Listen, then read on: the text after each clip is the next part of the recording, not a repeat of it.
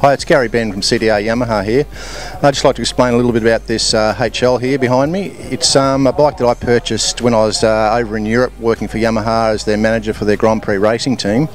I bought it in the late uh, 80s and restored it over there and sort of rode it over there while I was living over there for some fun. Um, I really fell in love with this bike because I bought a TT Yamaha, which is my first new bike I bought years ago.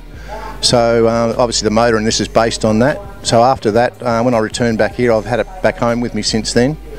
Which, uh, being the 60th anniversary, I thought it'd be a great way to show it off to people that haven't seen one of these bikes.